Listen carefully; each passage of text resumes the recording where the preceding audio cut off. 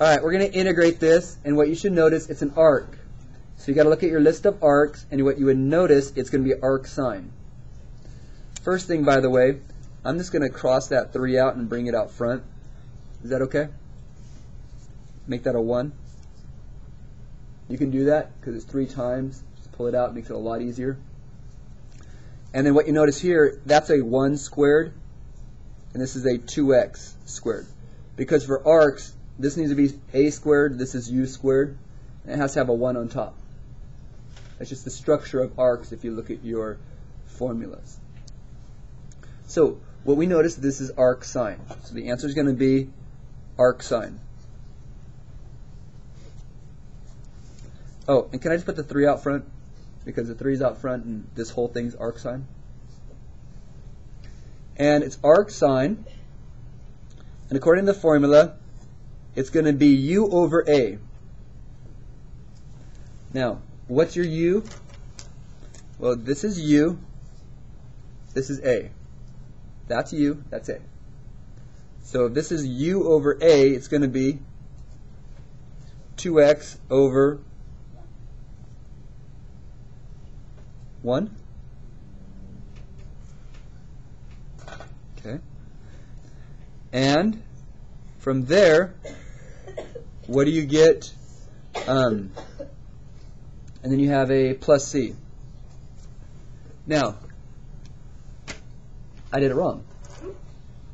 Because, real quick, let's just think about it. Is that actually you? Now, so don't I have to change this to a u squared? Real quick, I did one mistake and I want you to see it. u equals what? U actually equals 2x, right? So watch what's going to happen here. Isn't du over 2 going to be dx? Isn't there going to be a, a 2 right there? Do you see it? See how easy that is to mess up? Uh, which I did until I looked at my notes right in the second of doing this. I realized I made that mistake. Good to kind of realize. Again, what you have to do is that has to be u squared. And since it's not u squared, you have to change it, and then you have this 2 that jumps out, and it joins this guy up front. That's the answer. Oh, do you need the 1 on the bottom? No. But that's good enough. For this one, what's u?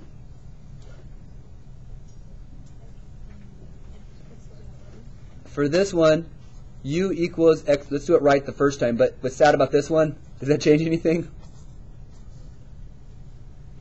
Does that change anything? No. So we don't have to worry about it. Where this one, you got a 2x, which you had to move over. So really don't have to worry about it on this one. Okay.